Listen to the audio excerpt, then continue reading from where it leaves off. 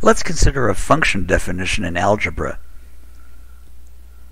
You can think of a function as a black box that takes some input and provides some output.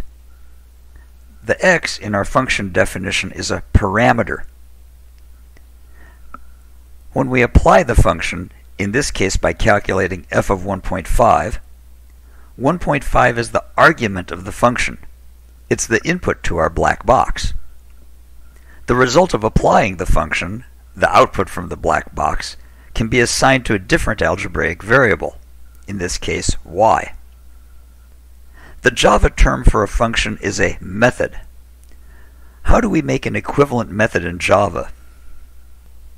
First, we start off with a modifier. For now, we will always be using public static. More on that later in the course. We then give the name of the method and our parameter name. Here's where we part company with the world of algebra. In algebra, we just sort of know that the domain and range of f is the real numbers.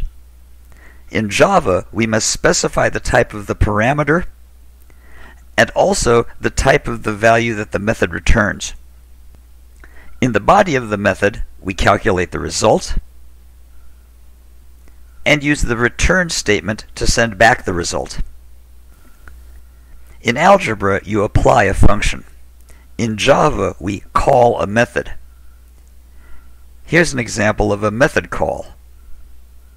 On the right-hand side, the argument 1.5 is copied into the parameter x. It's used in the calculation, and the result gets returned and that becomes the value of the right hand side, which is then assigned to y.